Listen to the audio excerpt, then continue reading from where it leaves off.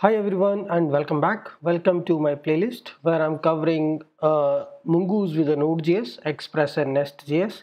So in the last video we have already covered uh, Node.js with the Mongoose using simple Express framework and we were having how to we were discussing how to insert, update, delete and fetch from the multiple collections, how to define the relationships and the, the references from one collection to another collection into into one to one one to many many to many different manners okay? Now in this video we will quickly take a look on how we can use uh, mongoose with the nest.js so i'm going to show you what just a one simple example. We are not going to do some kind of a demo.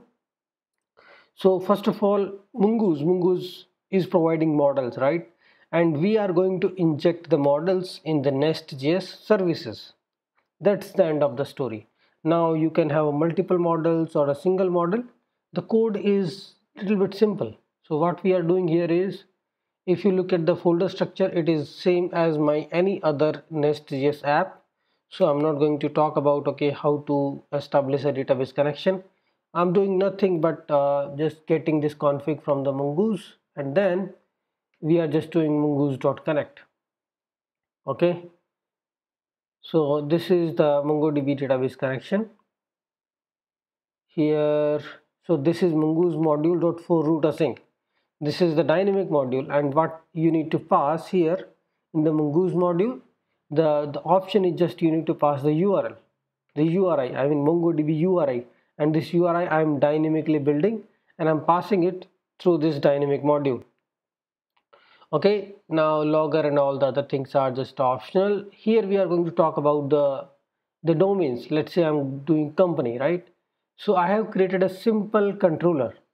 And for this i have a service. So first we will talk about the service layer and the model. So we need it's like uh, we are defining model we are defining service we are defining controller.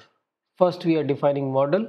Model means nothing but uh, a simple class in uh, Nest.js definition. In when while we, we were talking about express mongoose we were just creating a schema and creating model. Now that thing has little bit changed here because now we are writing typescript nest.js so we need to be a little bit more uh, object oriented right?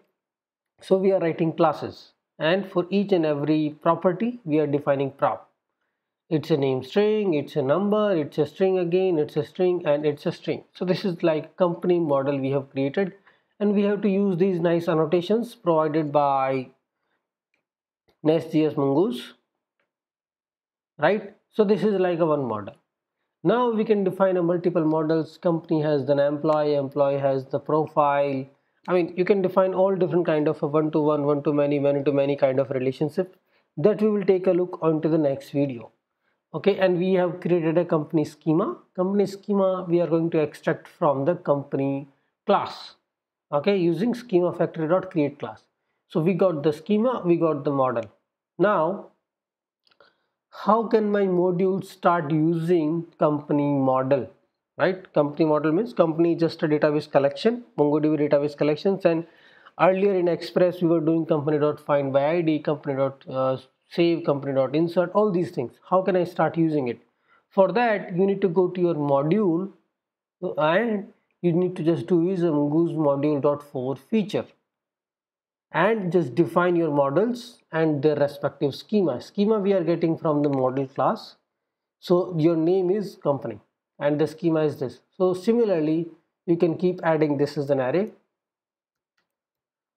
Let's say i have a name is user and might be I have somewhere created a user model.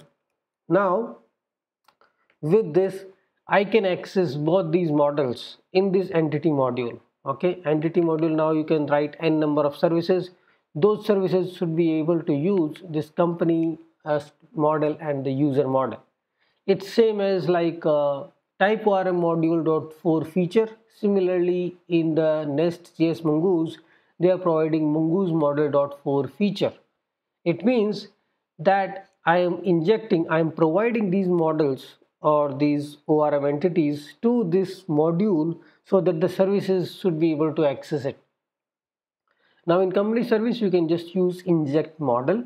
This is the model name which you provided same with the same name and the model class right? It's kind of simple. Model is the company is the class. This is the model company model.